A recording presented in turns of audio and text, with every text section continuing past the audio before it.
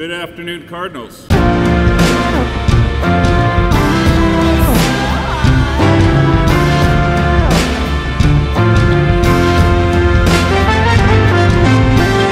Remember being that kid on the first day. It is surreal to think we were sitting in the gym four years ago, listening to Mr. Strinisty welcome us into the BG community. Now, here we are in the field house, wearing our caps and gowns, which seemed so out of reach back then, anxiously waiting for him to hand us our diplomas and send us off into uncharted communities.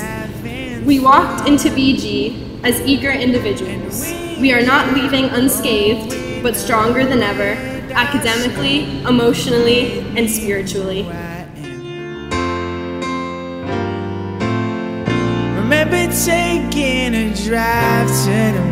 One of the great honors of my role is the opportunity to give each class its first and its final homework assignment. The first assignment was given back at freshman course selection night, and that was to represent Bishop Guertin with pride and gratitude. Mission accomplished. That assignment still stands.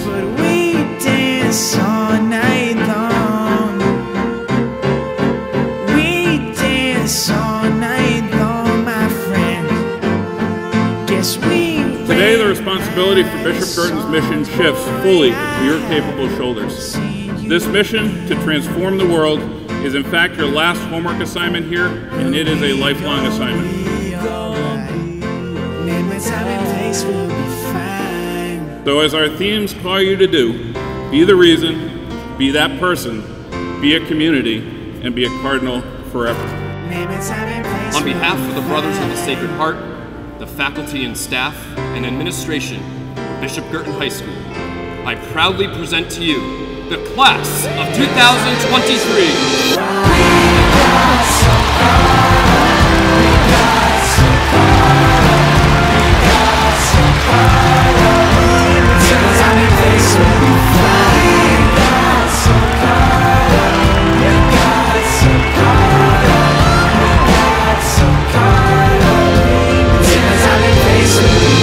It took us 1,384 days to get here. And trust me, I counted all of them. But we did it despite all the challenges life threw at us, even though some days certainly passed by extremely slowly. All in all, the four years flew by.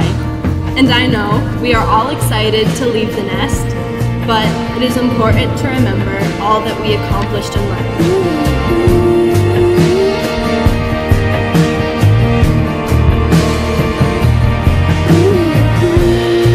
Lowering of this flag represents the conclusion of our days here at BG and symbolizes the struggles and triumphs of high school and the memories we have created as the class of 2023.